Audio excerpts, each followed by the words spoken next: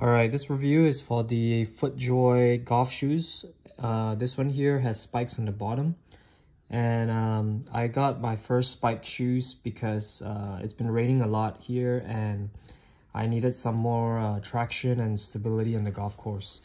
I um, decided to check them out and I love it. Um, it's still very new, so but uh, I've worn it maybe two times. I clean it after every session and it definitely feels very comfortable.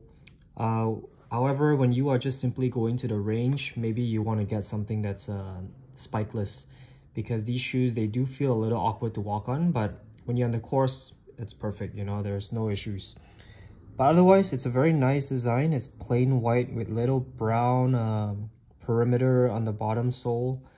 And um, yeah, it's just keep in mind when you're getting a shoe like that, you gotta clean it every time. Otherwise, it's gonna, it doesn't look as good after.